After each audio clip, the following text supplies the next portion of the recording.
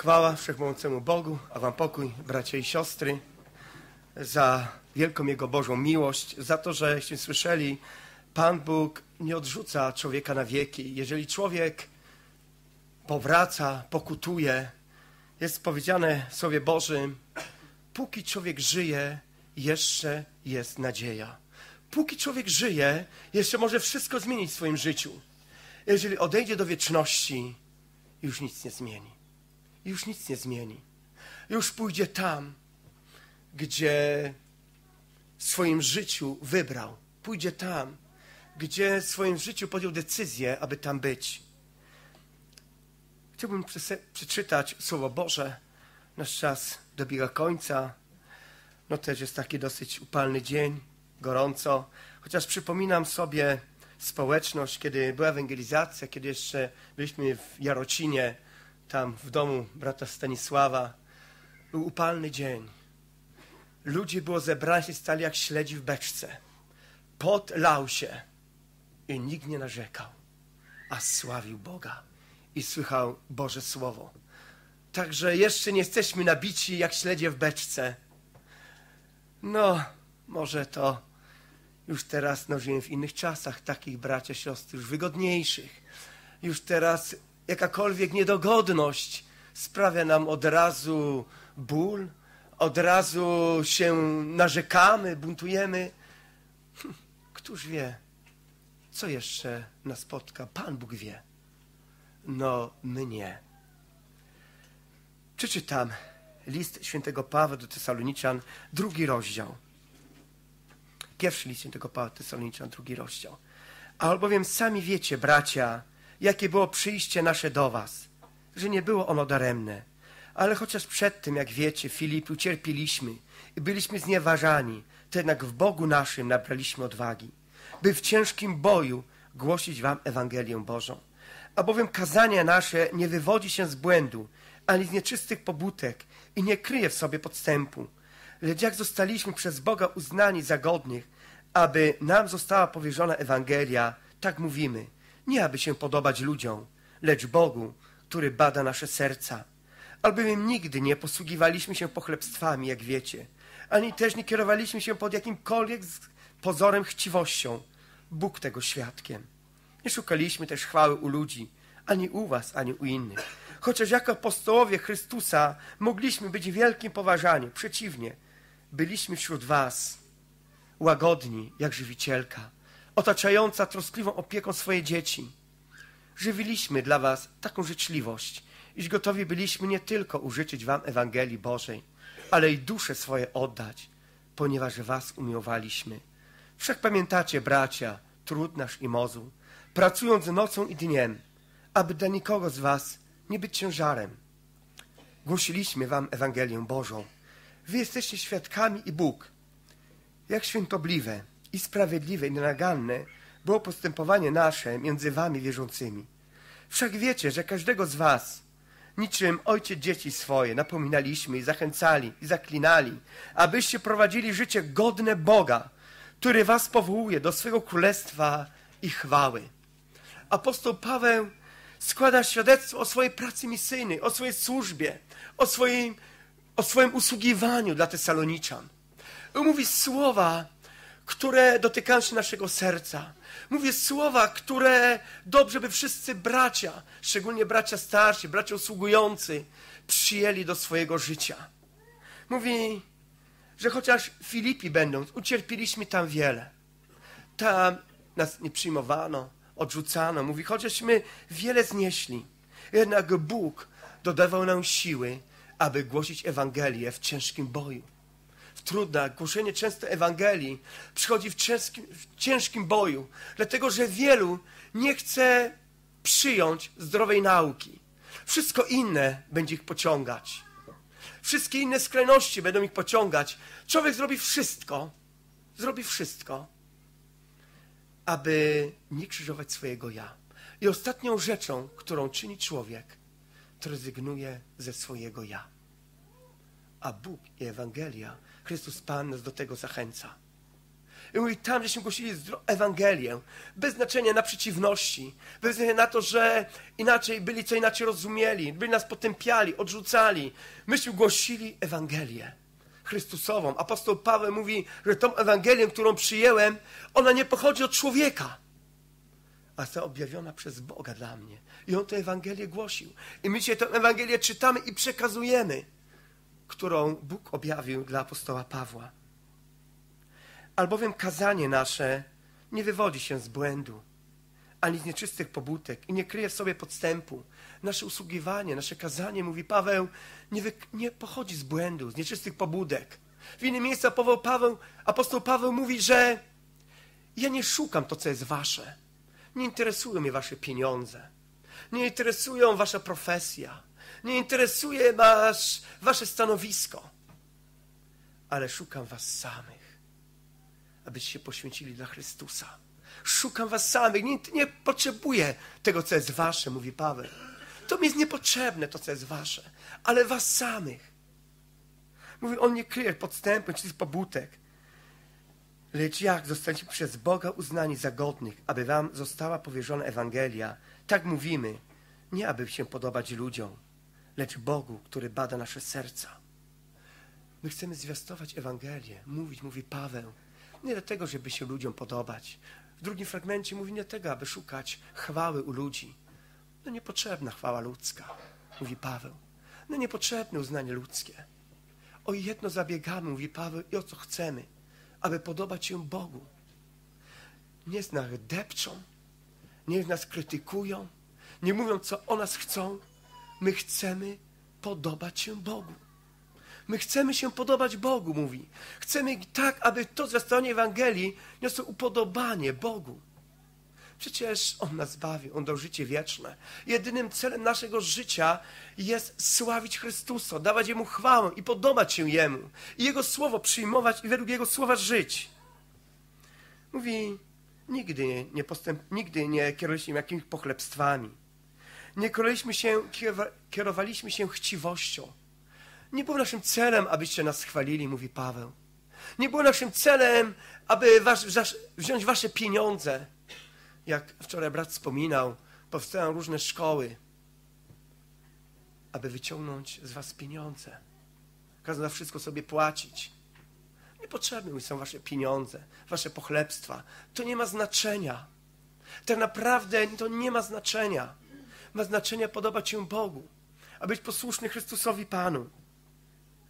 Mówi, chociaż apostołowie Chrystusa mogliśmy być w wielkim poważaniu, ale to, co on mówi, każdy brat, którego Bóg powołuje do służby, nie weźmie swojego serca.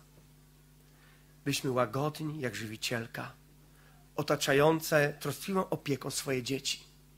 Mówi, myśmy byli jak żywicielka, łagodni, otaczające opieką swoje dzieci.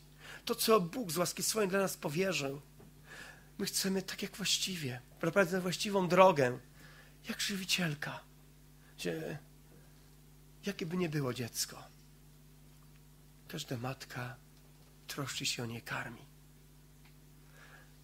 Ona, żadna matka nie odrzuci swojego dziecka. Żaden ojciec nie odrzuci swojego dziecka. No są zwyrodniali rodzice, ale mówię o chrześcijanach. Ale troszczy się o nie, opiekuje, pomaga. I tak jak żywicielka, tak ma się troszczyć. Bracia mogą się troszczyć o innych i o siebie nawzajem. Żywiliśmy dla was życzliwość, iż gotowi byliśmy nie tylko życzyć wam Ewangelii Bożej, ale i duszę swoje oddać, ponieważ was umiłowaliśmy. Przepamiętacie, bracia, trud nasz i mozu. On wspomina o swoim życiu, o swoim postępowaniu. Oni znali Pawła. Oni znali jego życie. Oni widzieli, że jego czyn, jego postępowanie było zgodne z nauką Chrystusa. Jego życie nie było inne. On nie głosił czegoś, a żył inaczej.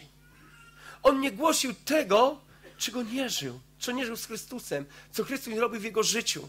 On nie był zainteresowany niczym innym. On nie chciał żadnego zgorszenia. On się trudził, pracował dzień i noc, aby od nikogo nie brać, bo im nie zależało, aby o kogoś coś ściągnąć ale jemu zależało na tym, aby pozyskiwać dla Chrystusa. Jechaliśmy raz w samochodzie, jedna sióstr starszych, którą wieziemy. No, ofiarność, dawanie dla Boga jest rzeczą dobrą, jest właściwą. Jeżeli ktoś postanowi w swoim sercu oddawać dziesięcinę, niech mu Pan Bóg błogosławi. To jest dobre, to nie jest złe. Ale kiedy to się przesadnie o tym mówi, mówi tak, inna niewierząca osoba mówi, no, a czego tam iść pójść do tych wierzących, jak tam oni tylko łupią i trzeba im dawać dziesięciny. Jeżeli tylko jest nacisk składziony na finanse, źle to wszystko wygląda, źle to wszystko patrzy. My nie chcemy ludziom nieść Ewangelię tylko dlatego, że przyszli do kościoła i tutaj wyciągali wszystkie pieniądze z kieszeni. To jest niepotrzebne. My chcemy, aby oni poznali Chrystusa i Jemu służyli, oddali swoje życie dla Niego. A jak poszli, Duch Boży się dotknie serca i postanowią tak postępować, niech ich Pan Bóg błogosławi. A to niech wypływa z tego błogosławieństwa, przekonania, które daje Bóg, a nie tylko po to, żeby tam no, korzyści jakieś dla siebie ciągnąć. Mówi, wy jesteście świadkami i Bóg, jak świętobliwy, sprawiedliwy i nienaganne było postępowanie nasze między wami wierzącymi. Mówi, wy to wiecie, mówi Paweł, wy znacie. Myśmy żyli między wami, wyście oglądali nas, patrzyli na nasze życie, nasze postępowanie, nasze zachowanie, nasz trud. I wszak każdego z was, niczym ojciec dzieci swoje, napominali, zachęcali, zaklinali, abyście prowadzili życie godne Boga. Słysząc Ewangelię, zestawione Słowo Boże, czasem mówi, no brat, chce coś nie tak, może on jakieś nie tego. No, wielu kieruje się tym, że jeżeli ktoś głosi to, mówi to, co mi się nie podoba, to ja tego nie przyjmę. Dlatego kieruję swoim widzeniem, swoim myśleniem. Ale jeżeli zestawione Słowo jest wiernie, abyśmy je przyjmowali, abyśmy żyli, mówi, abyśmy zachęcali, zaklinali, prowadzili życie godne Boga, teraz połzuje do Królestwa i chwały. Jest jeszcze jeden fragment Bożego Słowa, werset, który chciałbym przytoczyć, może tak króciutko. Jest zapisany w dziejach apostolskich i on bardzo dotknął się mojego serca. Tak dzisiaj i chciałbym go przypomnieć. On jest zapisany Teraz powiem. Tutaj dalej. 17 rozdział, 10, 11, 12 werset. Chodzi to o Berei.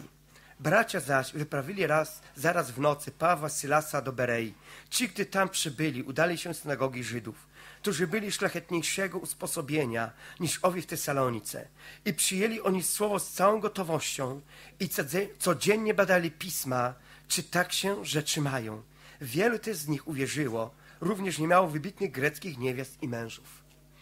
Wiele słyszymy, wiele kazań, wielu kaznodziejów i dzisiaj, i wczoraj. Jedno was zachęcam. Bądźcie usposobienia, jak ci z Berei. Czasem się mówi, no bracie pastorze, ten czy tamten, czy brat, on nie powinien usługiwać. Ja mówię tak ogólnie o życiu. Jak bywa no nie wszystko ja wiem, nie wszystko znam. Nie, ja z rozmowie, no każdy dobrze przychodzi, no mówi to, co chce i ja chcę, prawda?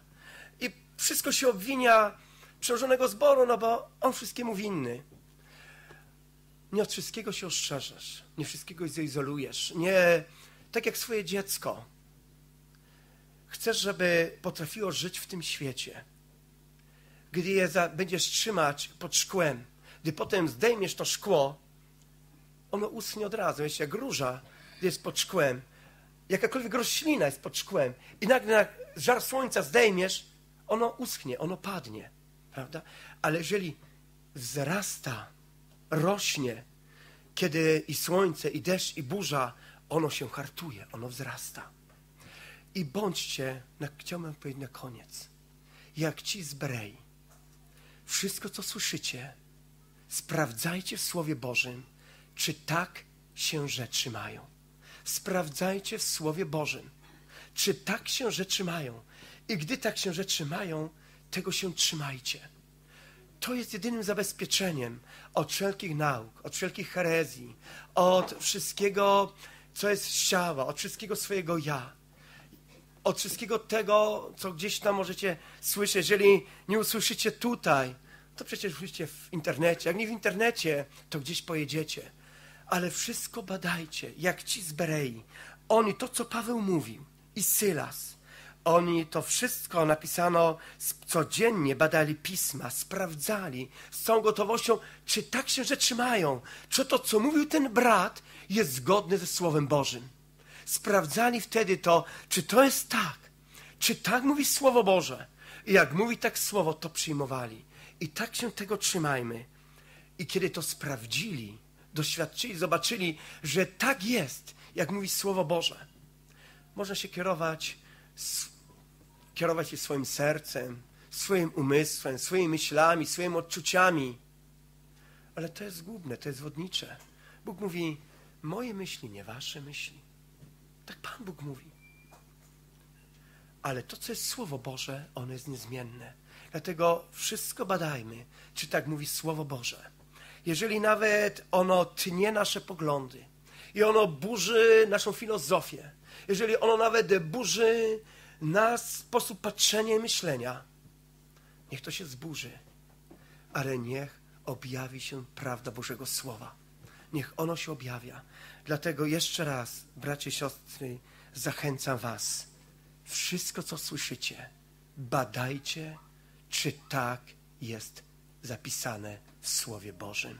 Amen.